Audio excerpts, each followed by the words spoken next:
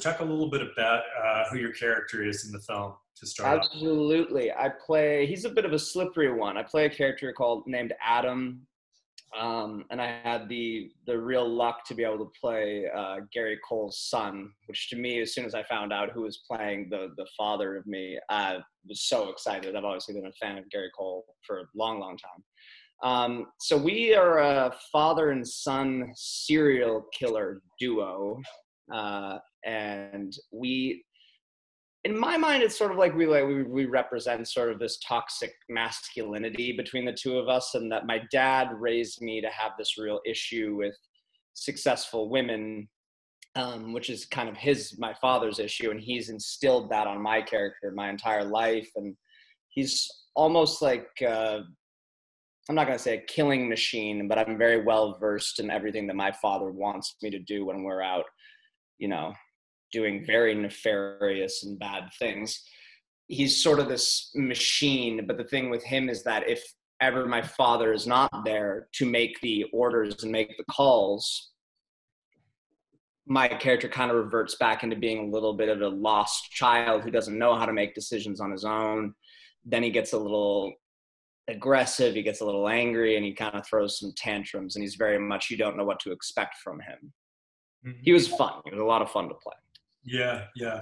Um, now you've got, uh, in addition to uh, your dad, you've got uh, Shawn Ashmore. Shawn Ashmore, who's yeah. unbelievable to work with.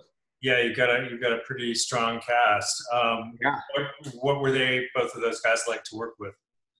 Oh, I mean, both brilliantly professional in their own different way. Um, Gary, it really felt like just God. I mean, he's so good in this in this role. First off, he's very, you know, just professional, wonderful guy. My whole plan every day was trying to make him laugh as much as I could. And I, I think I got him to crack a couple times.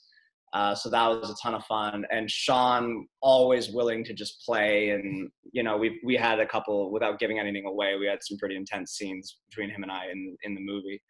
Um, and he was always down to you know play with it and switch it up. And that also goes out there's a big shout out to our director julian as well for for allowing us to sort of play with this this vision of his. Um, what, is there a single moment that um, you'll remember most from filming? Yes um, standing on a driveway and i started singing uh, Psycho Killer, que c'est, that song, and I started singing it. And then very quietly, Gary started singing it beside me until we were both just singing Psycho Killer, que c'est, playing Psycho Killers.